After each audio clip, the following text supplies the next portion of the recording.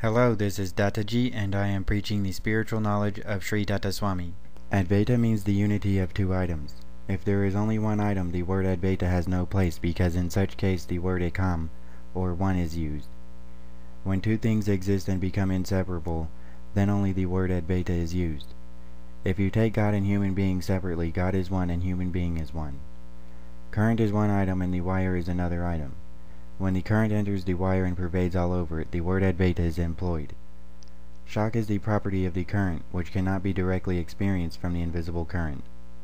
When the knowledge contains unimaginable clarity, it creates unimaginable happiness, which is called as bliss. The clarification of the confusion gives the real happiness to the climax. Removal of confusion and ignorance clarifies the soul, resulting in bliss like the removal of gas and undigested matter from the stomach clarifies the body and results in immense happiness. Such unimaginable nature of the knowledge is the property of the unimaginable God, like the shock of the current, but it cannot be experienced directly from the unimaginable God. The unimaginable knowledge indicates the existence of God in a particular human body like Krishna, Jesus, etc. Finally, only the existence of God is experienced because the unimaginable God and the unimaginable nature of his knowledge remain always unimaginable. Only his existence is imagined, and such existence is called as Sanmatravada. Since God and his nature remain unimaginable, you cannot say that God is awareness, or awareness is his property, and therefore the Chinmatravada is not acceptable.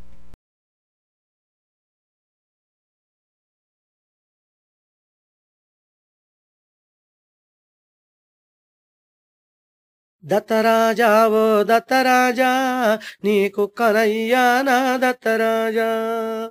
నీ పాదంబుజ మధువులని గ్రోలెదనయ్యా. నీ ఉచ్ఛిష్టములనే సదా భుజింతునయ్యా.